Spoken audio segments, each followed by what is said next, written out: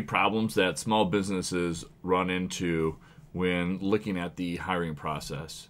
Uh, one of the first things that small business owners uh, fail to do, or they do improperly, is identifying exactly uh, what their needs are going to be. Too many times, small business owners are looking at this process and seeing how they can cut costs. And so, what they think is that they can do everything or they can do more than what they can put on their plate. And there's a couple different problems that this creates.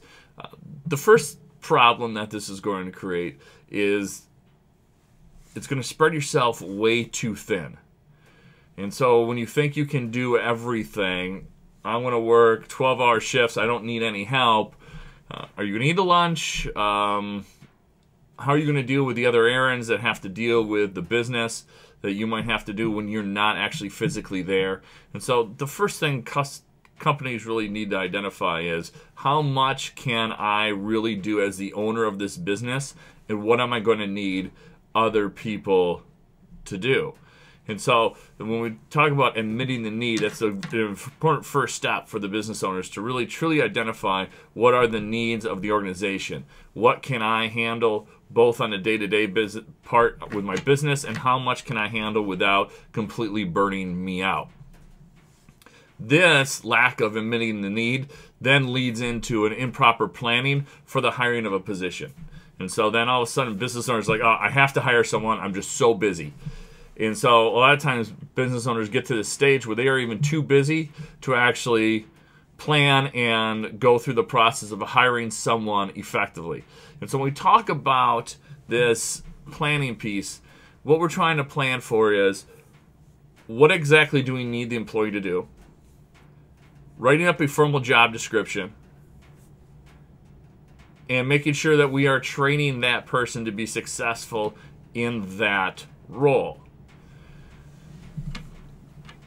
The third thing we need to identify, which builds into all of this, is do we have the time necessary needed to evaluate the applications? Let's say you put a an ad out, help wanted and you get 100 people apply for it or 50 people apply for it, how much time are you going to be able to allocate to spend to evaluate those applications, the resumes? How many people are you going to interview? Are you going to have the time necessary to pull from your regular schedule to interview people to get through the evaluation process? It's very important for us to evaluate people um, from point A in the beginning all the way through just because we don't want to go through this process over and over again. So we want to make sure that our process is set up in a way where we are really hiring what, what we feel is the best candidate.